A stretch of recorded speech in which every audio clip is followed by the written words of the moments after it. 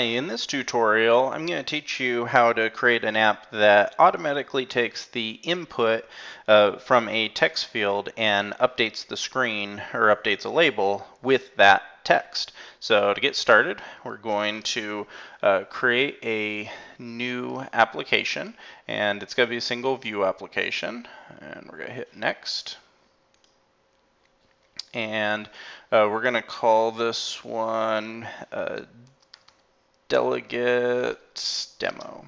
Uh, one, the big thing that we're going to learn about today is actually how to use delegates in iOS. Uh, so uh, delegates are a very powerful tool. They allow you to delegate uh, different uh, tasks to uh, different parts of the program and it helps you to keep your code nice and clean and organized and so uh, delegates are a great way of being able to uh, to create powerful iOS apps. So uh, we're going to learn how to do it here with this pretty simple application. First thing to do is go to main storyboard and we can hide this left hand side to give us some more room. And we have our view controller. And to start off, we're going to get a label. And then we're going to get a text field. And we're going to drag both of these as far as they can go, just so we have plenty of room to play with. I'm going to center that and the label, I'm going to make it nice and big. I'll get rid of the text and then change the color and the size. So we have a nice big label. And that's all we need to do here, or in adding those. Uh, what uh, the first thing that we have to do to create the delegate is actually to assign it, and it's uh, most easily done here in the storyboard. So the delegate's going to be assigned to this text field, and to do it, you click on Control, then click on the text field, and then drag it. And you're going to drag it right down here to this uh, view controller icon and let go. And you have all these different things. You could do an action segue, but what we want is the outlet, and we want to uh, the delegate outlet for this. So what this essentially means is we can use any of the built-in delegate methods and apply them directly to this text field as you'll see. Um, it may kind of seem like magic in the very beginning but the more you use it the more it'll make sense so uh, we'll go through that. Uh, next, open up the uh, code pane and we'll hide this on the right hand side and uh, open up the uh, it can say uh, view, yours may say viewcontroller.h mine says my viewcontroller.h uh, just because I assigned that custom variable um, okay so the to create these attributes we need to click on the label click control and then drag right below interface. And this first one we're just going to call my label. And we want it to be strong, non-atomic, and it's an IB outlet. And next thing we're going to do is do the same thing here, drag it right below. And you can see this is another outlet. And here we're just going to call it text field.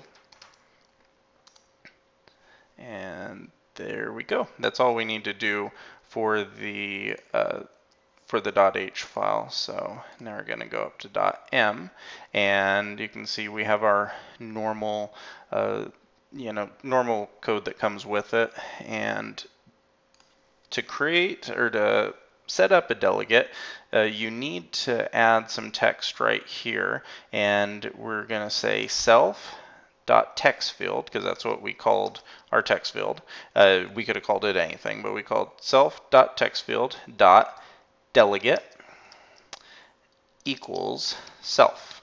And that's all the text that we need to put inside of that um, inside of that view did load method. And I'm going to check this warning. It says assigning to ID UI text field delegate. Okay, and there's a good reason this came up. There was one other thing we had to do in the .h file, and we had to switch over, we'll switch over the view controller. Anytime that you want to use a, uh, a delegate, you have to put in a, uh, you have to put it into your H file. So uh, click on uh, right next to where it says UI view controller and then uh, do start these brackets and do UI text field delegate and it finishes it off for us right there. And so if that's been added, now let's go back to our viewcontroller.m file and we should see that that error disappeared. Perfect. So that's all working properly now. And so the next thing we're going to do is actually create the delegate. So we're just going to come down uh, right below the view did load method and we're going to start off with the declaration and we're going to uh, say uh, bool because uh, this delegate uh, returns a, uh, a yes or a no or true or a false so uh, it's going to be a bool and we want this to be text field and then the next thing is going to be uh, you can see it is auto correct or auto completing it for us. Uh, text field and then we have a uh, semicolon UI text field points to text field should change character in range, uh, NS range, range, uh, replacement string, NS string, and string. So that gave us literally everything we needed right there. So it's nice and easy and you'll see in a second what all that means. So we uh, put in our uh, block right here, and what we need to do is create a variable, and we're going to say in a NSString, and then we're going to point to a variable called updated string, and set that equal to text field dot text and then the function that, or the message we're going to send to it is string by replacing, let's see if this is the right one. Uh, uh, no, that's not the right one. Uh, replacing, we want a, we don't, do we want occurrences? No, we want character. There we go. Okay, that's perfect. Okay, characters in range, and the range is just going to be range. And then the NS string is, let's see, what are we going to, uh, with string, oh, and this is, uh, we called it string up top, so just match it up to that. And in that statement, and now the next thing we're going to do is just set the label equal to that. So we're going to do self dot my label dot text equal to updated string. And then because this is a Boolean expression, we have to return something. So we're going to return yes.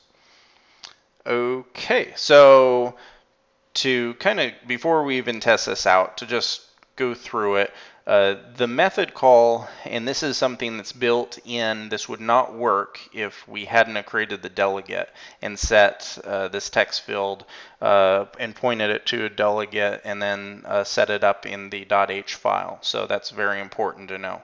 Uh, but what it does is it brings along a lot of methods. And so the method that we used is this one, this text field and then uh, should change characters in range. And what that means is it's going to change the characters of whatever uh, range it's being given, which is everything in this text field, because you could limit the range. You could say, I only want them to be able to put 10 characters in or something like that if you want to limit it.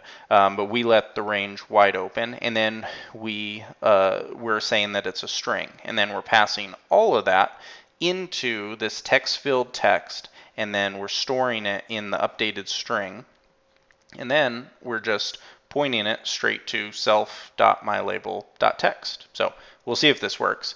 Uh, that is a, little bit of programming. Um, so we're going to start this up. It says build succeeded, so that's good. No compile errors. and it's oh, starting up and so we have our text field oh you know what? I'm I put that in a bad spot. So let me move this up. I'm gonna move everything up just to be safe. And I'll start it up again.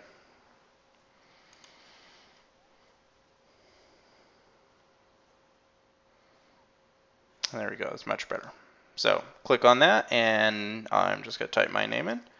And as you can see right there, it automatically updates and it even works for backspace too. So you can delete that and so I could do my name and then delete it. And so you can uh, you can imagine all the different things you could use this for. So uh, this is this by itself isn't the most functional or most powerful kind of tool, but what we did was we learned how to use delegates with this. So we learned how we can take something, we didn't have to put anything except this one line of code in the viewDidLoad method. We also didn't have to if you noticed with other methods, uh, usually you'd have to create IB action methods and things like that. We didn't have to do anything like that. All we did was we declared the delegate, we went to the .h file and put it right in here.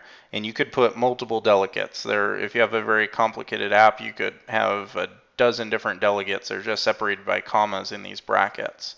And then that automatically brought in all of its methods and all of its attributes. So it's a very, uh, very powerful uh, tool. And uh, the one thing that you may notice when you're typing, and as you're typing, it's auto updating. If you hit return or you click on the screen, you notice how the keyboard doesn't move at all. In our next video, uh, we're going to see how we can continue to use delegates and how to hide the keyboard when you hit return or when you click anywhere else on the screen. So stay tuned for that.